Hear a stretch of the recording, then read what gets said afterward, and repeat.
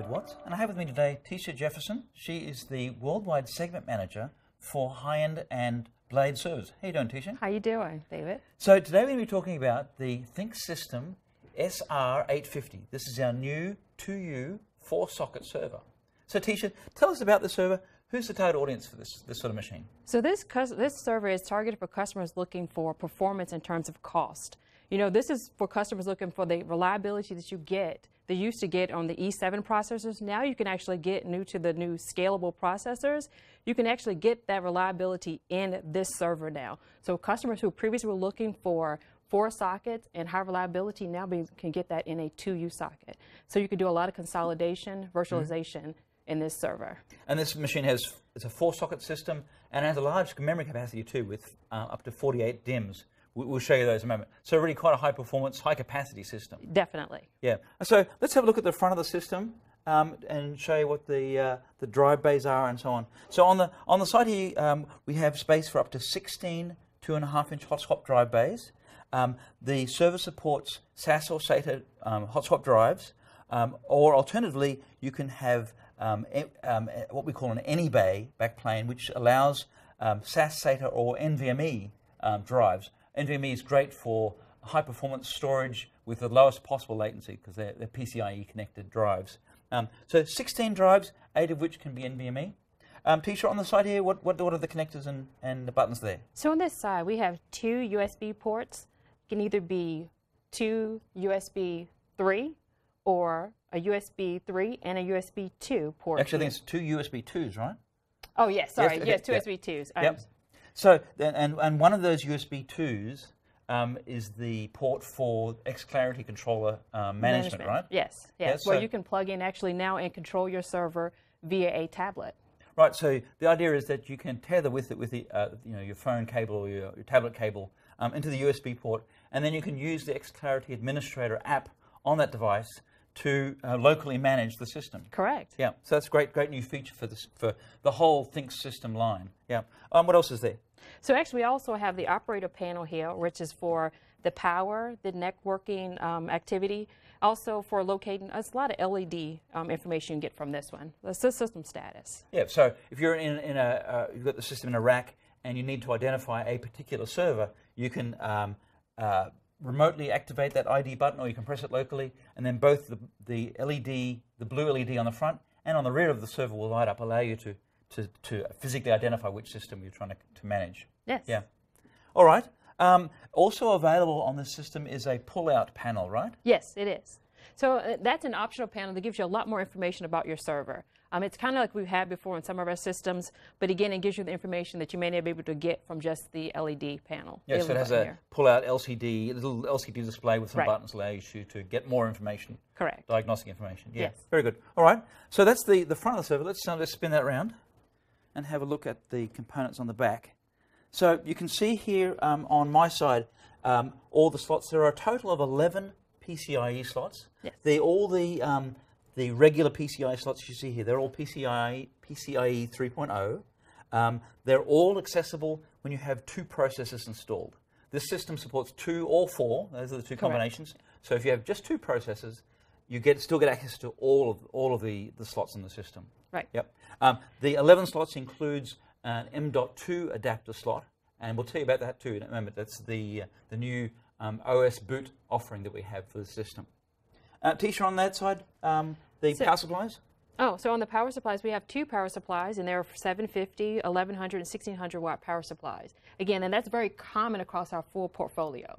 Our and, power yeah, supplies. so it means that if you if you're a distributor or a partner, you can stock these parts, um, knowing that they're going to be compatible with the full range of ThinkSystem servers. Yes. Yeah, uh, and the ports along the bottom. So on the ports on the bottom, we have the serial port, the video port. We actually have the management too. I'm sorry, that missed that one. That was yep. down on this end here. Um, and then we also have the ID port here, and we had two other communication ports, and the ID LED yeah. there. Yeah. Okay. And uh, also the uh, this um, network connector here. This is the LOM adapters, right? Yes. Yep. Um, well, we'll let can you can you describe the functionality of those? So we have the the new LOM adapters, and actually we have a lot of options in terms of our LOM adapter. So you actually have six options there. You mm -hmm. have the RJ45, you actually have the S, um, SF, SFP, sorry, Yeah. um, adapter there. And you also have the, in terms of dual and quad ports on those. Yeah, yeah. So a And one variety of different choices for, for, for network connectivity as a standard LOM, LOM function. And that also includes um, the NCSI capability, which means that you can use these ports to connect to the X-Clarity controller, the systems management processor, um, in addition to traditional uh, uh, Ethernet traffic. So it's a dual function there with, with NCSI. These, these uh, adapters support that. Let's um, open the server up, shall we? Let's do that.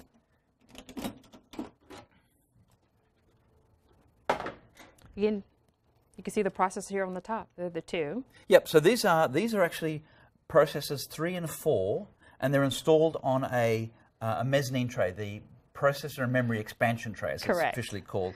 so this mezzanine board uh, sits on top of the other two processors, which are actually underneath. So we easily remove that. So the first step is to remove the top power supply. That's right. Make sure it's pulled Yep, out. pull you out, and then lift this tray up, and then it easily lifts out like like so. Of course, you do this with the power off, right? Yes, you definitely Yeah. do it with the power Yeah. off. So I'm going to put that over there. Get this out of the way. So you can see, bring it, bring it a bit closer there, let me point out. So we have four processors. Um, each processor has 12 memory DIMMs. Yes. Now, in terms of capacity, what does that mean? So that, that actually gives you up to three terabytes of memory inside the server. Yep. So if you want to have, um, if you want to use the the 64 gig DIMMs, LR DIMMs, for example, that would get it up to a total of three terabytes of memory. If you want to use the um, the 32 gig R DIMMs that we have available, that's to one- 1.5. 1.5, Yeah. yes. So quite a significant amount of, of memory capacity in these systems. Um, the processors are the Intel Xeon scalable family processors, and they go all the way up to. They go up to 165 watts and, and up to 28 cores. Yep. So these are these are the the platinum. These are Platinum Yeah, they right? support up the go- they support actually the gold and the platinum family, but the top level is the platinum One, family. and that's up to 165. 160. We support up to yeah. 165 on this server. Yeah. All right. So let's look at the other components here. Um, the, the these things at the front. These are the hot swap fans. So you have one, two, three, four, five, six hot Yes. swap fans. Um, the orange symbol, you, if you're familiar with System X servers, the orange means that they are hot swap, um, removable while the system is operational. So this is N plus one redundant Yes. um, fans. Um, let me show here the at the front here we have um, this is where the back planes for the storage, the, the two and a half inch hot swap drives go. So what we have here, this back plane here is a uh, two and a half um, eight bay SAS SATA connect uh, back plane. I also have I also have a an NVMe backplane, and that would go it would actually go in the place of that one. Um, it's back to front. Uh, and so, th- and the second backplane would go here. And you can see here that, unlike the SAS SATA backplane, the NVMe backplane um, has both SAS and SATA ports and four NVMe ports. Yes. So we, we call these bays our AnyBay. Any bay. Um, AnyBay meaning that it that the drives that go into this backplane can be either SAS or SATA or NVMe, right? Right. So it's for customers who actually may not be sure what they're going to do, and it allows them to make their changes in the future. Yeah, yeah. So so this server supports up to um, supports two of these backplanes, these AnyBay backplanes. So you can have up to eight NVMe drives, Yes. um, or if you don't want to ha- go to NVMe just yet, it would you have you could have up to 16, 16, SAS or half. SATA. And the way the connectivity works is, as I pointed out, you've got the two SAS SATA connectors here, and they route through the cabling to the back of the server to a uh, standard SAS SATA RAID controller like the one we have here. And the NVMe ports go to this um, NVMe switch adapter. And that will plug into one of the PCIe slots too. And then the, the ports route from the adapter through to um, the, The uh, the drive base, to the backplanes at the front. Now, if you have the if you grab that if you have the the um, uh, mezzanine tray, the expansion tray on top, then two of the ports will ports. be uh, will come from these NVMe ports here that come from the the, Right. the processors three and four. So that's how that connectivity works there. Now, also, let me spin this around a little bit. What we also have at the back, next to the slots, um, is this M.2 adapter here. So as I mentioned at the beginning, um, M.2 is a, is a storage technology. Um, we have cards that are available in formats of uh, 32 gig or 128 gig. And these this, the adapter that is installed here, this is a Lenovo patented design, in fact. Correct. Um, th- this adapter here that we have installed is a dual M.2 adapter.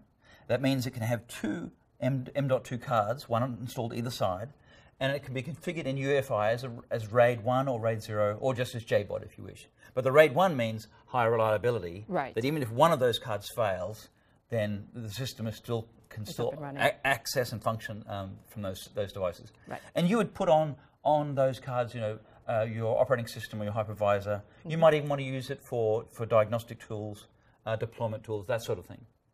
So that, that, that is accessible as, as a device. And I have what I have here is the is the single version, um, the single adapter, which and it has in fact the uh, the, the 32 gig M.2 card is already installed in it. So you can see it's only got one connector on this one, whereas the one installed has got, got two. So there are choices here if you want to have a lower cost um, single drive, uh, single adapter, or the dual adapter. Um, I, so I point out to that there's the RAID card here. The, the server supports a variety of RAID adapters um, in, for internal storage and also for external storage as well, and a variety of network adapters and fiber channel adapters as well, and SAS, SAS HBAs. Um, now the riser cards, tell us about those. So the riser cards, we actually have um, several options with those. Let me take a look. This actually is our, our LOM one, uh, ML2, I'm sorry, our ML2 one, and our by 16 one. So the, we have three options on this, but this is just the one we have in the system now. So th- this particular riser card has uh, space for two adapters, um, but there are other riser cards that have three. So the configuration choice is quite flexible there. Um, I would point out that there's a USB port here that, that we're showing here on this server. Uh, this is a pre-production system. Uh, that USB port won't exist in the in the final system. So uh, in the in the production level Right. system. So you, you don't get that. Sorry. okay, so I think that's about it. Um, Tisha, any, any more final comments? No, I think that's it. All right, very good. Well, so this is the ThinkSystem SR850. This is our new 2U uh, four socket system that uh, supports four processors and 48 DIMMs.